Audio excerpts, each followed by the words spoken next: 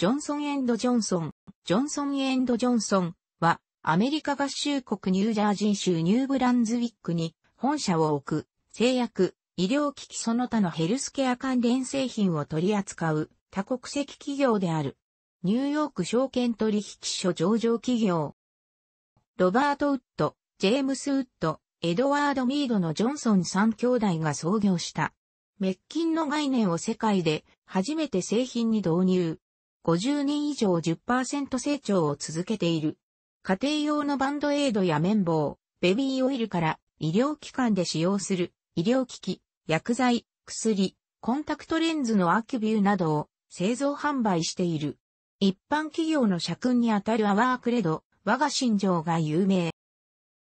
ジョンソンジョンソングループには、ジョンソンエンドジョンソン株式会社の社内組織として、社内カンパニー制を採用しており、コンシューマーカンパニー、メディカルカンパニー、ビジョンケアカンパニーのそれぞれのカンパニーがある。エチコン、アスプ、エチコンエンドサージェリー、オーソクリニカルダイアグノスティックス、バイオセンスウェブスター、コッドマン、マイテック、デピュー、デピュースパイン、コーディス、コンシューマー、など。また、ジョンソンエンドジョンソン株式会社とは別に、独立した製薬部門のヤンセンファーマ株式会社がある。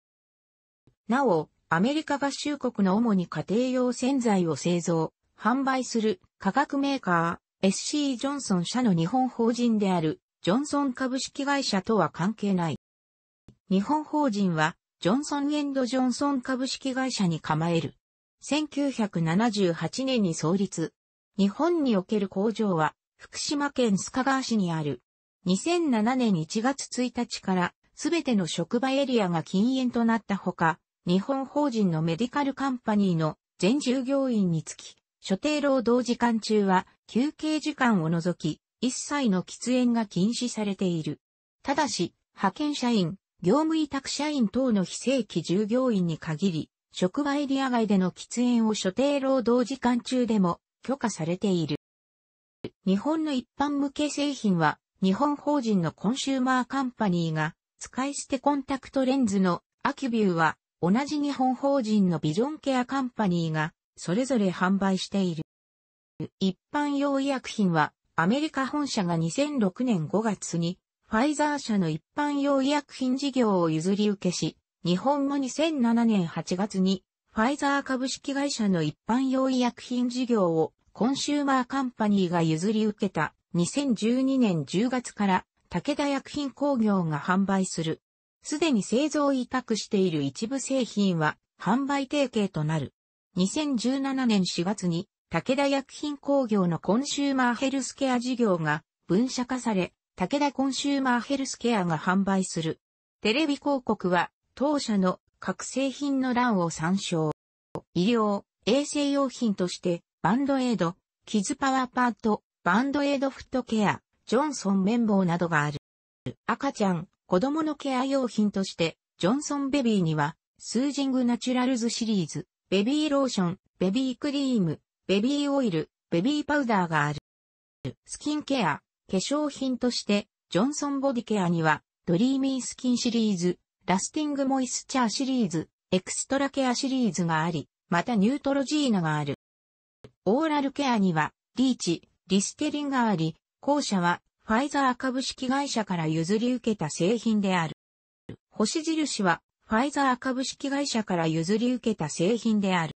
譲り受け当初は、新、ストレータス U、水虫薬、コンフォートリセット、便秘薬、タイザー、乗り物酔い防止薬も販売していたが、現在は販売を終了している。テラマイシン軟膏とテラコートリル軟膏はこれまで医療用医薬品の扱いだったが、2009年6月から施行される改正薬事法に合わせ、2009年4月に一般用医薬品として適当な効能、効果、用法、用量の承認を取得し、パッケージデザインをリニューアル、同時にテレスハイシリーズもパッケージデザインを変更。2011年11月に紹介料を行い、テラマイシン軟膏 A、テラコートリル軟膏 A に改名された。アキュビューは該当項目3章。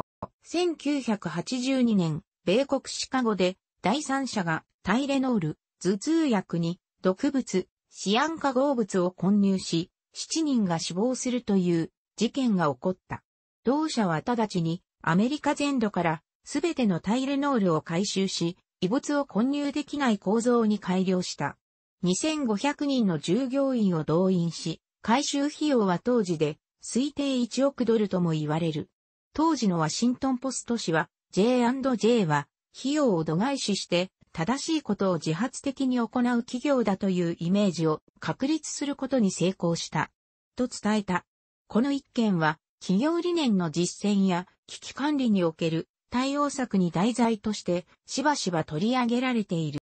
2010年12月1日、公正取引委員会は、ジョンソンエンドジョンソン日本法人に、独禁法違反、不公正な取引方法で、排除措置命令を出した。1日使い捨てのコンタクトレンズ、ワンデアキュビューなどについて、2008年12月頃から2010年3月にかけ、取引先に対して新聞、雑誌などの広告で自社製品の店頭販売価格を表示しないを強要していた。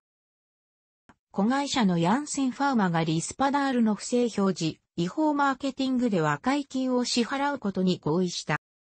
楽しくご覧になりましたら、購読と良いです。クリックしてください。